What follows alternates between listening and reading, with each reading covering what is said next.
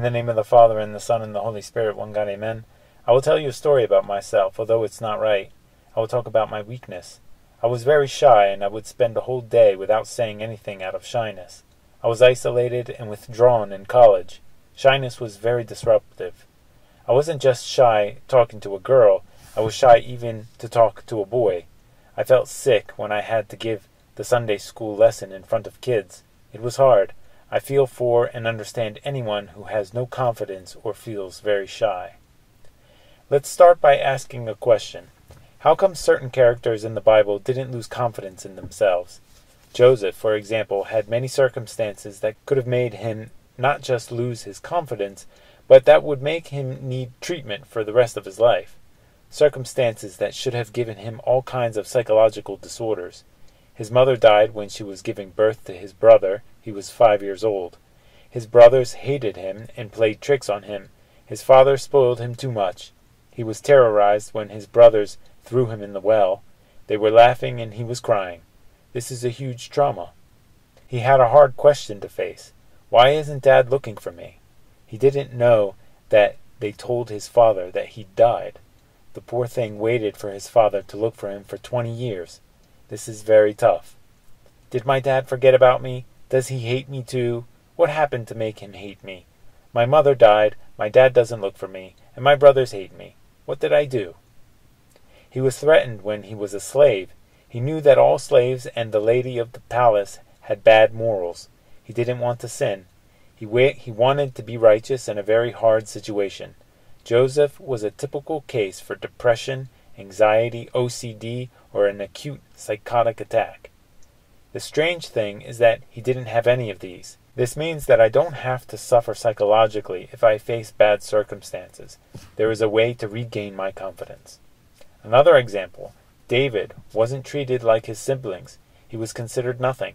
He was number eight in a line of sons, and his father left him with the flock of sheep. When Samuel visited his father, he didn't even invite David.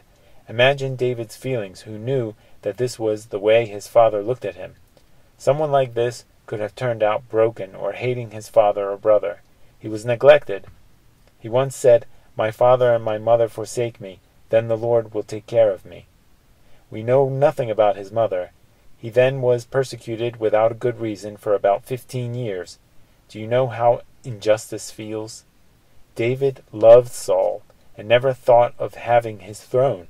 But Saul was convinced that David hated him and wanted to kill him. David was the most person in the Old Testament who fell in terrible sins.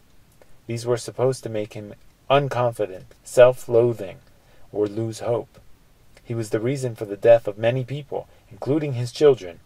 He killed one of his faithful friends. How did he deal with himself? He was one of the worst people to raise children. Most of his children were unrighteous. Only Solomon was good although he too eventually lost his way. David saw his children killing each other. His failure as a father could have made him hate himself, but he didn't lose hope or feel self loathing.